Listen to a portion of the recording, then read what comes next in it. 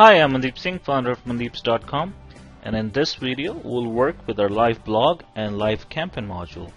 So let's get started. What I have here is the live campaign module and what I've done already is I've went into the lists and subscribers and I've created a list uh, for our company news and for company blog. And the reason I've done that is because we have a live blog module both at the company news page and the company blog page. So let me head over to company news page and show you that there's a live blog module right here.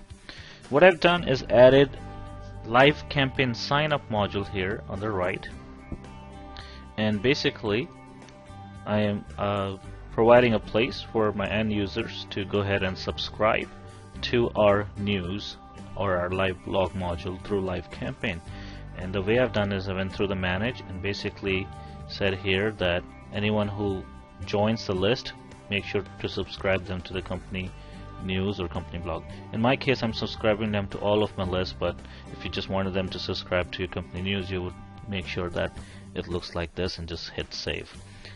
So after we've done that, anytime anyone goes ahead and adds, joins the mailing list here, I'm to go ahead and uh, do a, a, a, test here. So I'm to say test at testing.com. To say join our mailing list. And if they do that they get added to our mailing list. So let me head back over to my live campaign module new list and subscribers. And I can now see that there's uh, in my company news I have the test at testing.com uh, added. Okay so let's go ahead and create a new campaign going to say create a new campaign and this campaign will be used every time uh, a new blog post is created in my company news live blog module. So I'm going to call this company news blog post just so I know what's going on.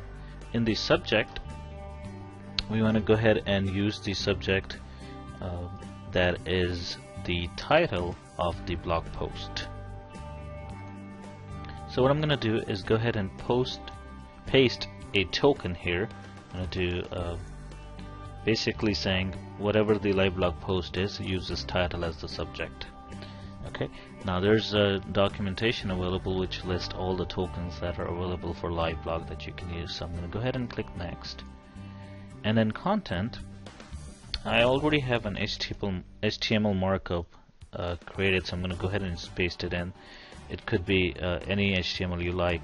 Now the key here is if you notice is that I'm using a bunch of tokens. Wherever I'm using token post photo that will become the photo that's included in the blog post.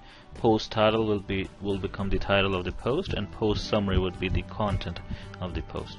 I've also made these three elements right here the web version the photo and the title a link uh, to the main post and that's done using again another token called post uh, view link and I'll show you an example of that right here.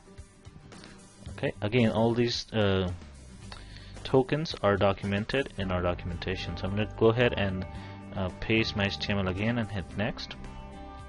So this time I'm going to say I only want this uh, campaign going on to my company news list.